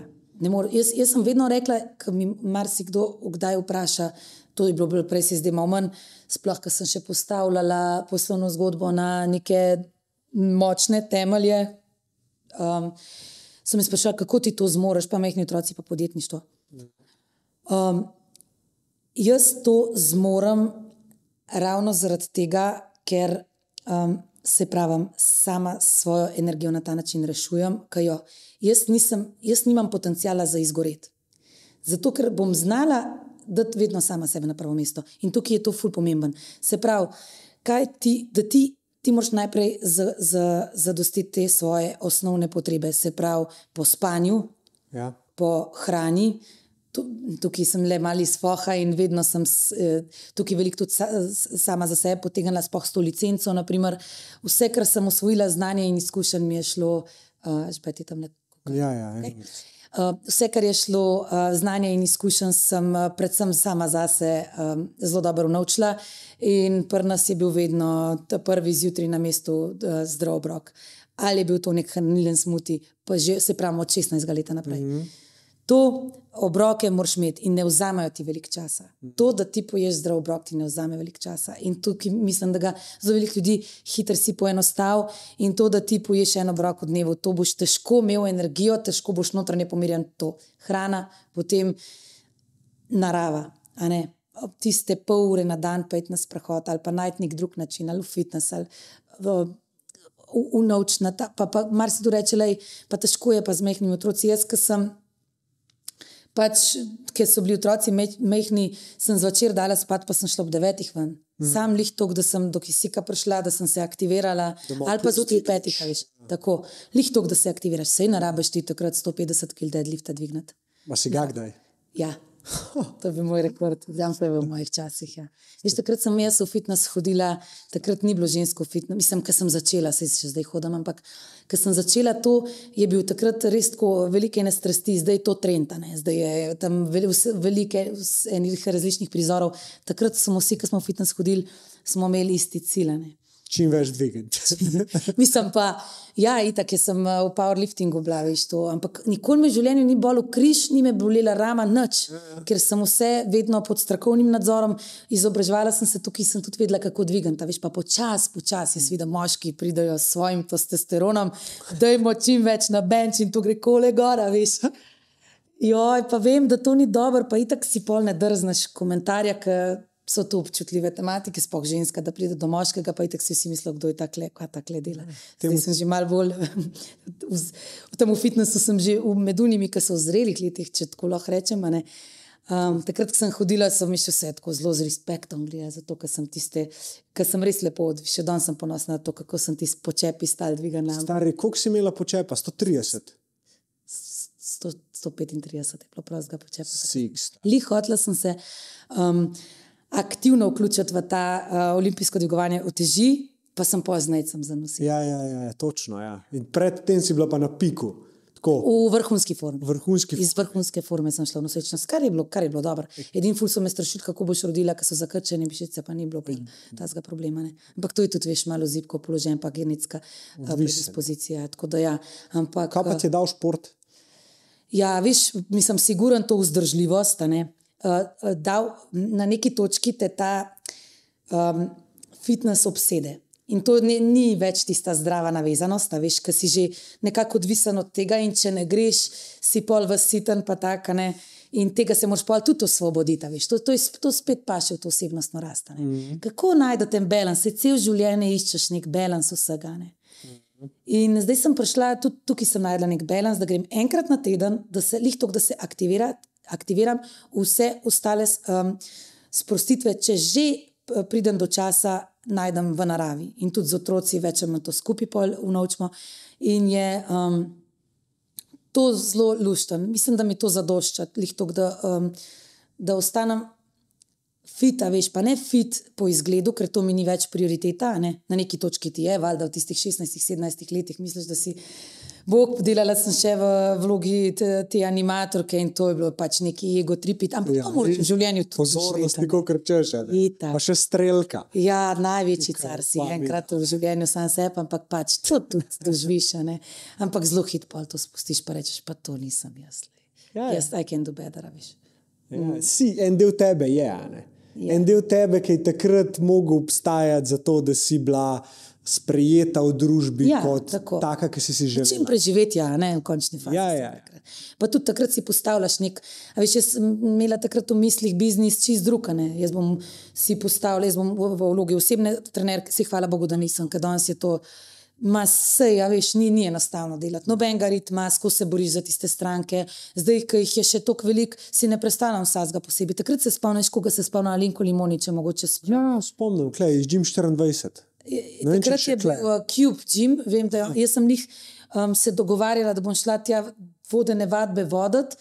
Alenka je pa takrat odhajala ali nekaj tasga, ampak lih to je bilo takrat, ko sem jaz zanosila. Ampak nije se spomnila, ker sem jo tako počudvala. Ja. Ja. Tako, že ona si je že neko kariero zgradila, jaz sem si jo pa lih postavljala. Drugač delala sem pa v fit-fitu v domžalah, fulušten okolje za delati. Ta dva lastnika, pa vsi, ki so tam bili, to je bilo res lušten. Ampak se pravim, ni mi pa zagotavljali tega ritma. ne. Ja, Jaz sem vedno vedela, kaj hočem. Veš. Hočem to pač tako. Sam podjetništvo, veš, kaj je bilo to za me, ker nisem sploh vedela, kaj je to dobavnica. Ja, pa, pa pol še kako se je stopnjevala, ne pa marketing. Zate drugačen marketing prišel v poštev. Ljudje so tebe spremljali tudi kot polono. Ti si ratala kar naenkrat, ne imaš od začetka, ampak bila si v brez zlate ptičke. In na začetku so bile to tiste lepe slike, pa tvoji blog zapisi, pa to. Pa si pa prišla do ene točke, ki je bilo mogoče dobro začeti kakšen video posnet, nekaj video začel pač pridobivati na moči. A se spomniš tega? Ključnega pomena ti si bil že pred tem videom, že prej si ti rekel, ti se sama izpostaviš. Spomnim se lahko, ki si rekel, pa ker smo se s Tino Dobovškovo dobila dol, ker si rekel, Instagram gre zdaj v ti rabaš delati Instagram, ti si vedno bil, no, pomagal, pomagal bom, a ne, če ne drugega z nasvetom. In Instagram gre zdaj v bo razcvetel. In jaz, pa, jaz sem pa takrat rekla, pa jaz tega Instagrama ne bom sama delala, meni to ni. Jaz do tiste točke res nisem niti selfija sama delala, meni to res ni bilo. Jaz pa ne morem verjeti, kako lahko delam danes to, kar delam. Ker takrat sem bila res v umovajbu, santone. To, kar večina podjetnikov reče, santone. In pol se ne lotijo, in pol ni načene. Ampak takrat smo se usedla dol, jaz sem, ti si rekel, imam eno punco. Jaz sem rekla, um, jaz sem mislila, da mi boš ti najdel punco, ki mi bo pomagala to delati. Ti si točen vedel, kakšno punco imaš. Ampak takrat smo se s Tino dol usedle in Tina je rekla, um, uh, ja, jaz to, jaz to ne mogla. Um, na, ona, pa, ona je pa mislila, da se bo usedla dol zaradi tega, da bom jaz ena izmed prvih, ki mi bo ponudila svojo storitev. Ja, ja, ja. V glavnem, sedeli smo se na sestanek, full dobro, ker ona mi je takrat rekla, Instagramu moraš dati vsaj pet ur na dan, da ti bo vrnil nekaj nazaj. In z tega se spomnim. Ona je to takrat rekla. In jaz sem takrat vložila štiri ure prostega časa, takrat, ali pa še celo ne, ne prostega časa, delovnega časa v Instagram. In kar kmal mi je Instagram začel vračati. Ampak je pa bila ta, tin, ta tini na svet, po mojem, bistveno boljši, pa, pa bistveno z večjim efektom, kot si ona sploh predstavlja, da je sploh me- me- imel razsežnost. Je imel. Ona je pol tudi to zgodbo ful svojo razvila in fuli prvoščam. Ampak tudi ona je bila, tak- je bila takrat ključnega pomena. Hudo. No, pa smo pa mi to razvijali na svoj način. Jaz si tak nisem. Jaz, jaz sem šlo, ki poved, koliko je, sej imam tako zelo, hvaležno, zelo hvaležne tematike. ne. Še vsem. Nimam toliko težke naloge, ker imam hrano, ki se s hrano lahko veliko naredi, ki so tvojega recepti. področja je, zato je Mojega področja, to je moj življenjski stil. Jaz sem dejansko delila svoj življenjski stil, kot sem prej rekla. Zjutraj si naredim zajtrk, pol grem na sprehod, pol grem v, v firmo, tam smo s puncami povezane, pokažem zgodbo, predstavim, ki verjamem v njo. Um, Tistega mojega dobavitla, ki sva tri dni nazaj skupaj kavo pila in mi je to anekdoto povedal in to anekdoto delim. Vse je nek, neka zgodba in vse je v neki, kar verjamem, in tukaj nimam težke naloge. Yep. Prav, zaradi tega, ker sem tudi rada z ljudmi, rada se povezujem, ni mi problem zdaj več tudi izpostaviti. To pa od tiste točke, ki se reko polona, posnem se pa. Pa se ta, rekel si, video, le koliko je teh videov, zdaj le te bo videl, čez minuto bo že druge stvari razmišljal. In to je še en stavek, ki mi je pol zvenel v glavi. Lepo, na tega konta je tok. Ne sakiri se, kako izpade, ker mi, pol minute tebe gleda, pol, naslednje pol minute je fokus že na drugem. Noben ne bo razmišljal, kako je pa ta ti posnela, noben. noben. Ja, ja. Ma pa res efekt. a ne. Sploh, kad, veš, mi imamo tukaj nek, nek dober namen. ne. Ja, zdaj, je že, zdaj je že mast, zdaj brez tega ne moreš pač sploh začeti. Včasih se ti lahko slikam in ti si bila v bistvu ena izmed prvih, ki je svojo zgodbo v video vsebinah začela pač objavljati na Instagramu. In Jaz se takrat sam spomnim, da si mi rekla, Lahi, naredila sem to, um, sram me je, mislim, ne sram. Uh, Fak bet mi je, kva sem sploh naredila, sem rekel, sam počakaj. In si mi rekla, ne vem, čez en dan ali dva, meni se je javil v DM 100 plus ljudi, ki so, me- ki so mi pokazali, kako me podpirajo pri tem, kar bom delala, in pač to je to, vem, da sem naredila ta prav korak. ne. In sem bil sam tako, good for you, stari. Ker to je bilo pa lih takrat, ker sem jaz noro študiral Gary Vee. a ne. In to je on rekel. On je rekel, video bo eskaliral. Instagram, takrat še ni bilo TikToka, ki je pa. Uh, video na Instagramu bo eskaliral, ker so storiji vam pršali. In ti si bila ena, ki je zelo na začetku to poslušala in si probala in si dobila takoj povratno zanko. In od takrat naprej pač verjamem, da je to uno fokus tvojega v bistvu personal brenda, na ta način se pozicionirati. Ne?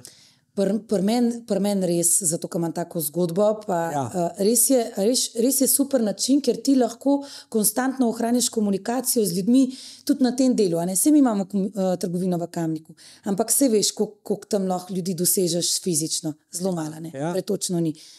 Na ta način pa lahko in se ti in ohranjaš nek, nek odnos tudi s temi ljudmi, ki naročajo naprimer, od tebe preko spletne trgovine in se tudi tako velikrat kakšen lep komentar izmenjamo. Pa to, veš, kle imam zelo prijetne ljudi okrog sebe in dobavitele in stranke.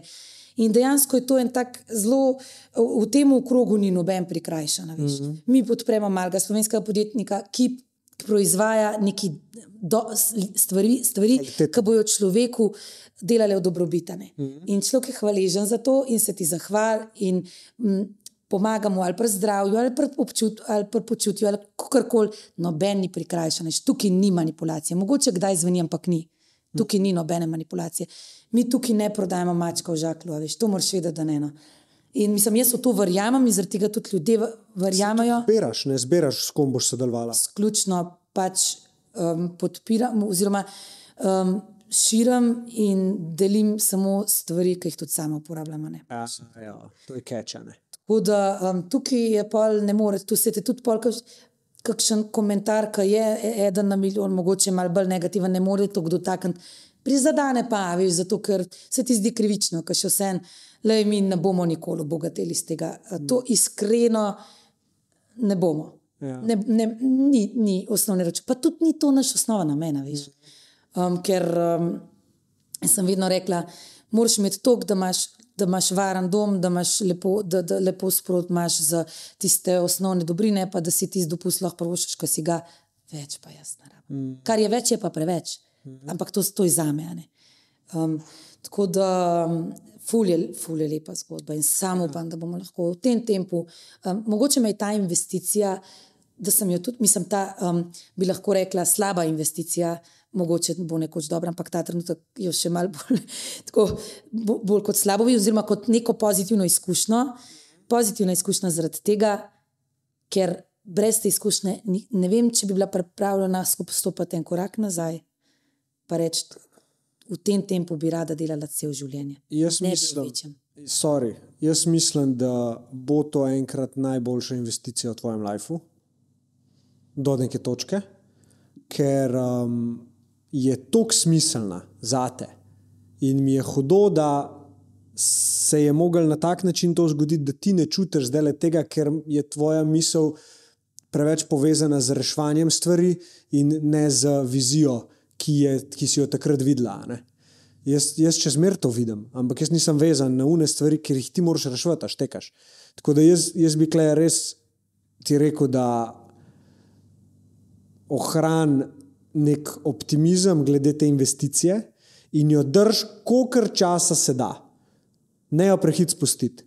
Ker, ko se pobereš ven iz tega, stopiš na zeleno vejo, pa ta investicija zacveti, takrat bojo vse te misli prišle nazaj in boš samo rekla, fuk. Koliko svaka mi čas, da sem ustrajala takrat, ko je bilo najtežje. Kaj prav Jordan Peterson je lepo rekel, je rekel, nalož si tako težek ruzak, da kumi stojiš, zdaj ga pa nes. To, to, to, ta stavek sem si tudi jaz nekam že na ene par koncev zapisala, pa tudi Primoš me opozarja na njega. Ampak moram ti pa povedati, ful hvala, ful hvala za tole. Moram ti povedati, da mi je danes nekdo že ta stavek rekel in ne, malo drugačno to rekel, je Polona. ne prodati. V to hišo bo samo še svetloba vstopila. In veš, kdo je bil to? Ta gospod, ki mu je zasul, zasupla s hišo in se je zdaj v tej hiši gor naselil s temi živalcami, gorast. Izjemen. Škašne mravljince so. In se reka, gorast, ti spoh ne moreš verjeti, koliko meni zdaj le tole pomeni. Spoh, a veš, kaj si spoh ljudi ne morejo, ima z dobrim namenom, ampak ne morejo si predstavljati, koliko, koliko se je meni to, koliko se je mene to dotaknilo, da je on to rekel. In tudi v takem trenutku, takrat, kar naenkrat ima spet smisel. Veš, ljudje zelo to povezujejo z nekim denarjem, koliko boš ti hitro lahko od tega nekaj zaslužila, pa vse živo. Ampak fajn je mogoče malo globino pogledati, da, da pač ne moreš kar takoj vse imeti. Pa Večina potez, ki jih boš v lifeu naredil, ne bo dobrih. Ne? ne boš imel takoj povratne zanke, da si to naredil dobro. Ampak ljudje, ki zaupamo ti med njimi, svojemu instinktu, pa v tistem trenutku smo sposobni slediti temu navdihu. Čeprav vemo, da ima to za sabo neko tveganje, ne? boš nagrajena za to. Ker vesolje ti bo vrnil za vso to dobroto, ki jo daješ. Ne takoj, ampak riše se ti pa pot, v katero moraš iti. Če ti te investicije recimo ne bi naredila zaradi strahu, bi bremzala svojo vizijo. In je prav, da si jo naredila. Jaz, jaz verjamem drugače v to in um, upam, da, ne, upam, da tebe ne bom razočarala. Mene ne moreš. Vse vem, vse vem. Ampak moram pa tudi povedati, da tudi um, Gorast je uh, iz tega stavka danes potem tudi rekel, uh, vidim, vidim, um, vidim koliko je za narediti, pa prosim, klesva jaz pa najdstoj sin, um, ki bova vedno. Uh, Vedno uh, vzela v roke lopato, oba sva inženirja, oba znava delati, povej, bomo skupaj stopili, ker to je najmanj, kar lahko naredim. Ste rekli, tako raz ne želim, ne želim, da to zdaj tako izpade. Nočem, da jim kdorkoli čuti, da mi je dolžen, ne želim, da sploh rečeš, um, tebi se bo pa povrnil, zato ker dobro daješ. pa Se, nočem, da to tako izpade. a Veš. Ne želim, da se zdaj, mislim, to niti ne počnem zaradi tega, da se mi bo. Nekdo, nek, da bi mi bo nekdo nekoč nekaj povrnil. Ne, ne želim, da je to tako, da tako zveni, ker niti ne pričakujem nič nazaj.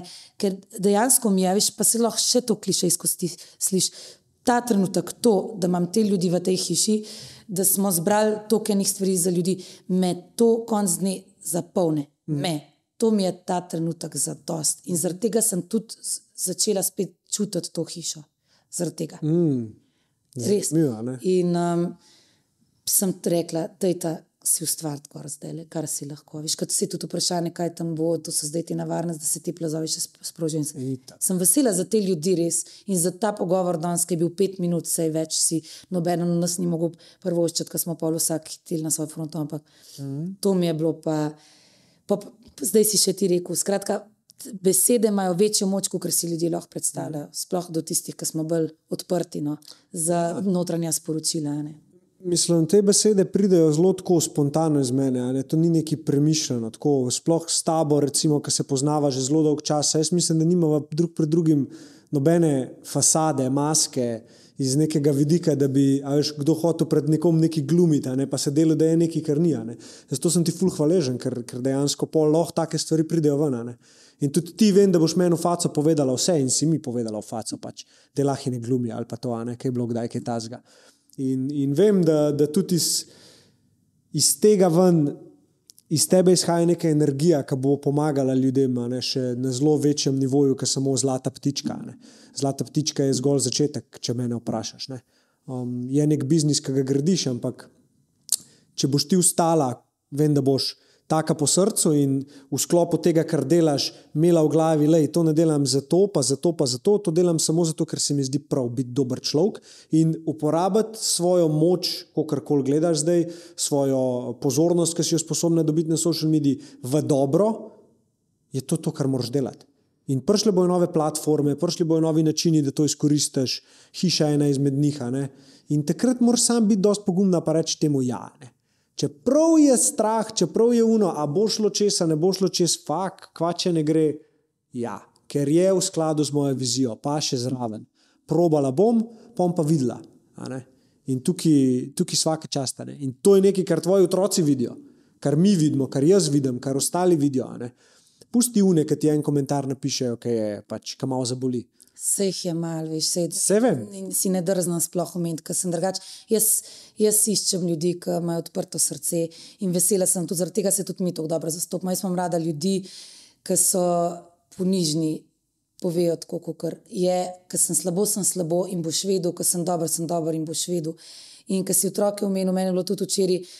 Včeraj sem prišel iz vseh teh situacij, meni se torej vse to dotakne. Prijem domov in sem šla sam na, na spalenc, v spalenco in sem se zjokala in jaka je samo prišel in me je samo objel. In Nič pet rekel. minut samo objel. Noč rekel. Wow. Samo objel, jaka, veš, pa kaj jaka je tak, tav, drugače. Je, Ni neki uh, čustven, tako kot recimo, ne se mi zdi bolj. on je čustveno intenziven, Ja. ja. jaka pa je izredno čustven, ampak ne tako intenziven. Ampak jaka je pa samo prišel in pet minut, pa še vse je, eh, jaka je star sedem let, veš. Prišel in samo močno objemal. Potem ko sem pa rekla, da ja, se bo v redu, jaz, jaz moram, takrat, ko sem, moram iz sebe, dati, potem je pa vprašal, mami, a si, a si v redu, kako, kako lahko pomagam, oziroma kako je že rekel, kaj je bilo, kaj je bilo, a lahko ti lahko pomagam, si mi že, sem rekla. Jaka, ti si največji car, tole prosim, mu primoš pokaž, tako se dela z mamico. Bravo, car, zber si eno igračko, ti je kup. Ne, ne, ne. ne. to pa ne. Zato zbrišeš ve. Probava, da ni za vsako stvar nagrada, veš, kaj starš se ujameš hitro v tist. Če boš tole naredil, boš tole dobil. Ne, sam tega ne. sam tega ne. Ne, Tako da- ful lepo, res bravo. To, to je Ja. meni tako lepo slišati pismo. Prav tako ne vem. No. Če bi to videl, po moje, da bi joko stari. Ja, Ker me pa res me ful me raznešto, ker vidim veš, otroka, kako z mamo dela ali pa vem, očetu pomaga ali pa ne, te interakcije. Ne, ke, vsak ima svoje pač stvari, ki se mu zgodijo v lifeu in ti drugače vidiš te zadeve. Veš, tako, To je izjemno. Zato bo pred otrokom. Ampak se pravi, mislim, da vse to tudi pri otroku lažje zveni, če je odnos med mamo in očetom stabilen. To je za otroka osnova. Da, da razume, da je to nekaj lepega, kar je naredil in da je to naredil instinktivno in da se mu to pusti. ne. Pa da vidi, kaj imamo v stiski, da je oče podpora, pa da vidi, kaj je oče v stiski, mama podpora, en drugim sta podpora. Ja. In to se mi zdi tako spontano, res lepa, uh, res, res ena taka lepa popotnica no, za, za tako uh, mirno življenje. No, če se vrnemo nazaj k notranjemu miru, a ne se to Hudo. pač ti skarišča. K- Kaj ti pa pomeni izraz uh, dobro življenje? A bi ga lahko? Dobro življenje, jaz bi rekla, da sama živim zelo dobro življenje. Zaradi tega, ker veliko dam, to, kar dam, to dobim, ko ustvarjam neko pozitivno okolje, ga ohranjam, ker sem obkrožena z ljudmi, ki me na- navdihujejo, s, s takimi ljudmi se sicer zavestno obkrožam, ki grem. Dobesedno bežim od slabih informacij. Zaradi tega me je zdaj se to še toliko bolj dotaknilo, ker jaz načeloma sploh ne vem, kaj se v svetu dogaja, ker sem se izolirala od teh mm. negativnih informacij. Zdaj sem se pa pač angažirala in sem mogla vedeti, kaj se dogaja, zato se me je še toliko bolj dotaknilo. Ampak obkrož se s pozitivnimi ljudmi, s pozitivnimi informacijami, um, usmer se sam vase, deli na sebe, pa bo življenje dobro, veš. Wow, fulo bo si to povedala. Zdaj bi vprašal bi te, kaj bi si svetovala, ker si bila 20. Ampak se mi zdi, da si že zelo zgodaj določene stvari odkrila. Ampak bom vseeno te vprašal, kaj- bi si tako sporočilo poslala nazaj Poloni pri 20 letih? Recimo? Če bi, če bi ga poslala Poloni tako sebično, veš, kako boš, kakšno sporočilo sebi pošil, da boš ti boljš, bi rekla Polona, uh, manj z glavo vzit, večkrat zadihi, počak, da, počak, da noč mine, pa zjutraj reagiri. Jaz sem zelo intenzivna v reakciji. Ja. Če bi rekla, pa, če bi rekla, kaj bi dala 20-letniku na svet, pa bi, rek, pa bi rekla, da dobro se z dobrim vre, vrača, tako kot dan svojim otrokom. Dej drugim, bod do ljudi tak, ki želiš, da so drugi do tebe. Me, vsaka, vsaka tvoja reakcija naj ima neko dobrodelno noto, ker to je tist, kar ti da srečo. Sej, lahko misliš, jaz bom pa en dober biznis obrnil, pa bom jutri imel 6 milijonov. Sam to ti ne, jaz mislim, da ti to ne bo dal sreče. To ti bo dal mogoče eno uro sreče, mogoče dan, maks en teden. Dolgoročno ne, veš. Mm.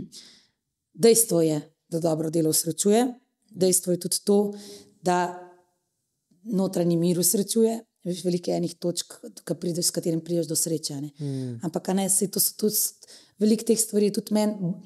Velikrat bolj v teoriji jasen, v praksi včasih teži. A veš, takrat, ko si sploh ženske, smo še malo bolj hormonske, pride dan, ki pofajlaš na vseh teh uh, točkah. Um, ampak če pa pač vlagaš v čas, če se ti trenutek zavedaš, da zdaj sem slabo, fajlam, ne gre mi dobro, ne zavedam se vsega, kar imam, sprejmi pač tudi to. Pa se, pa se osredotoči v spet v, v to, na, tvo, na to tvojo misijo iskanja notranjega miru. Je, veš, spet, smo, spet smo tam, kjer smo. Ti to, kar si rekla, sprejemanje. Ne? Sprejemati pa ne obsojati. Niti sebe, niti drugega. Recimo v partnerskem odnosu, ja, pride do tega, pa je ženska sitna ali pa moški sitna. Ampak prav sprejmi tako, kot je v tistem trenutku pa pusti, da gre česa. Ne? To je ena taka modrost, ki jo razviješ, po moje, dosti z leti, pa z izkušnjami. Ne? Ampak vedno pomaga. Bolj, ker ti imaš tisto potrebo, po, zdaj bom pa jaz tebe obsojil, zato ker si sitna, ne? pa da grem jaz ven, pa te gledo. Pač je to težko narediti v večini situacij, ampak če imaš to v glavi, boljše. In tudi dobi, hitreje se človek lahko pobere. Ker rečeš, le jaz sem kle. Vem, da ti ne morem nič pomagati, vem, da nočeš, da govorim s tabo ali karkoli, klesam, kulje, pej čez to. Bravo, jaz, jaz tudi veliko rečem, da je probi vsakemu človeku najti te dobre stvari, ne v človek, ljudeh iskati slabih stvari. Ne? Vsak človek ima nekaj dobrega v sebi. In če bi, če bi vsi s tem občutkom pristopili do sočloveka, jaz mislim, da bi bil svet čist drugačen. Vsak ima nekaj dobrega v sebi. V Beogradu smo bili z Džerjem, Pavličem. Um, in je rekel, da greva se eno igrico. In meni je ta igrica ostala še danes v spominu, ker je taka lekcija vam prišla, da glava boli. On je rekel, a vidiš, kaj ljudje, ki hodijo, ne mi smo po ulici hodila sonče, ki je bil lušten, ki svina. Mi da hodimo po ulici in je rekel, vidiš vsi ljudje, ki pridejo mim, kako hiter najdeš nekaj, ki ti na njih ni všeč. Gre se eno igrico, da moraš za vsakega, ki pride mim, povedati eno stvar, ki ti je všeč na njemu. In mi da smo to delali, po moje, pol ure, v, po teh pol ure smo bila mi dva oba, lej, v, na smeh do všes um, sijala sva. Sam rekla, sva, stari, to je bilo pa nekaj najlepšega, kar se je zgodilo. In, in sva šla na per, stari. In sva rekla, koliko malo je treba, da ti pač svoj, svoj mozek obrneš v to, da lepe stvari najdeš na ljudeh. In sva najdla. Na eni gospe so bila to sončne očala, na enem fantu je bila to hoja, na enem so bili čevlji, na enem je nasmeh. A štekaš, tako take malenkosti najdeš. Koliko je lepote okrog, če jo vidiš? Točno to. To je Izje, to, je, to je izjemno. Ne? In jaz ne maram stereotipov, ne maram stereotipizirati ljudi. To je vedno bila moja mama taka. A pa moja mama že, ona je vedno vsakmu, do vsakega je prišla z istim pristopom. Ali je bil brezdomc, ali je bil podjetnik, ali je bila slavna oseba, do vsakega si isti.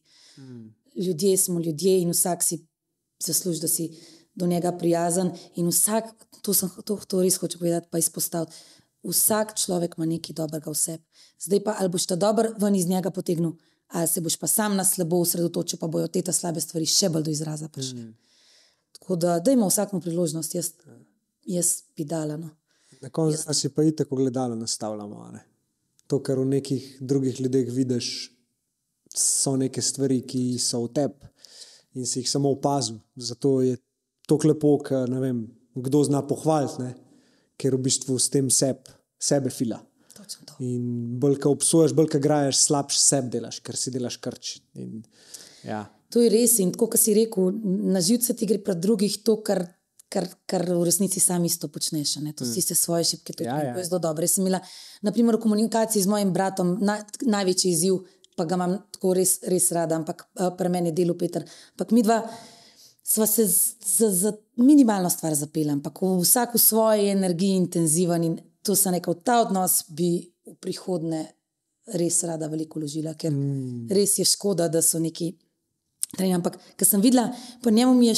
Pri njemu mi je, me je, on me je v efekt spravil točno s tako stvarjo, ki sem jo sama pri sebi pol tudi odkrila, ne pol, ki sem kasneje analizirala. In ti pri njemu. Ja. In kontra je bilo. Vidva sta v bistvu izgubila v, do neke mere odnos brat in sestra, ker sta ratala partnerja v biznisu oziroma sodelavca, kako koli bi rekel. Ne? In sta dejansko vse stvari rešvala znotraj biznisa. To pa čustva, pa, brat, pa se vse si poveš. Veš, če si brat, sestra, si vse poveš, nik, nimaš nobenega zadržka. Ne glede na to, kdo je, kdo je komu delal, ni noben ima avtoritete, pa oba ima avtoriteto. Skratka, ful sem vesela. Ne, Peter, zdaj, on je itak izjemen tudi v marketingu, zdaj mu bom reklamo naredila, ampak um, vesela sem, da sva našla način, da greva vsak po svoje, pa si še zmer pomagava. No. Ja, ne, res. Hvaležna tudi za ta, to izkušnjo, ker to so tudi izkušnje, ki te v odnosih te, te krepijo. In, um, ne smeš se zdaj upreti, pa reči, kle sem pa za vrknu. Ampak reči ne, izkušnja je, da bom v prihodnje še boljši. Hmm, hudo. Kaj bi spremenila na svetu, če bi lahko? Jaz bi to, jaz bi to, um, to empatijo dala vsem ljudem. A veš, vsem ljudem bi jo, tudi tisti, ki jo nimajo v zipko položeno, bi jo dala, da, da bi znali biti. Eh, sočutni do sočloveka, da bi ljudje znali videti v ljudeh dobro. To, to, to, to bi dala ljudem. Ne? To. to je težko, veš, ampak ne, je, to si povedala, dala, to bi dala. povedala. Kratko je drnato. Velikrat o tem razmišljamo, ne, kako bi to bilo, če bi vsak znal človeku prisluhniti, pa videti v njem nekaj dobrega. Puh. Pa ne samo eno korist zase. Ja, ja. ja. Ja, ne, lepo je, da to sporočilo tudi širiš. Jaz tudi mislim. No. Zato sem v bistvu danes prišla. Tudi ne glede na to, da je ta situacija kakršna je, ampak jaz mislim, da s takim pogovorom ne moreš narediti slabega noben. Sigurno. In sem full vesel, da si prišla in da smo zapeljala pogovor na tak način. Zdi se mi, da smo se dotaknili res tematik, ki so, ki so ti pisane na kožo. Pač, um, je malo izziv, če se toliko časa že poznava. Ne? Ker, ampak jaz sem danes pač dejansko od tebe slišal tudi kaj novega. Tako, to mi je res všeč. Um, bi pa lahko govoril zdaj le še dve ure, po mojem. Ker res sem videl, da smo v zadnji tretjini um, začeli nek momentum buildati, ki ga zdaj le še kar nadaljujemo in je kar malo hudo kot čet, ampak mislim, da te raj še enkrat povabim, pa, pa spet zaženeva ta vosane. Biti pa, uh, biti pa dal možnost, če, če bi rada kaj povedala tako, karkoli ta zga, mogoče kje lahko kdo pomaga ali pa Zdaj, v tem trenutku so pristojne službe, če se navežemo na, na to situacijo, ki je zdaj v državi, so pristojne službe, pa se ne obrnejo na bližnji PGD ali ja. karkoli. Tako da je, lej, če išče, bi rad pomagal, boš najdel način, da pomagaš. No. Tako da z tega vidika to, vse ostalo pa mislim, da smo kar povedali, pa dala sporočilo. Bi se sam zahvalila tebi za priložnost, da sem lahko danes kle, ker res rada pridem. Um, čeprav rečem, polura, ti nisi ne vem, ne, se mi štekaš, kaj hočem povedati. A si sploh to prava za po teh podcastih hoditi, hoditi. Ampak, kot sem zdaj že rekel, sporočilo pa imam eno dobro, pa mislim, da če bi več ljudi eno lepo sporočilo svetu um, širili, da bi mogoče pa res, da sva naredila premik, minimalen premik, boljšem jutri. Nekoga, ali pa nekoga spodbudila, da ali pomaga, ali se umiri notranje ali um, najde nekaj dobrega v svojem sodelavcu, prijatelju, mami, očetu, bratu, sestri, um, pa naredi en korak naprej k boljšemu odnosu. Lepo, zelo lepo. Lepo si zaključila. Hvala.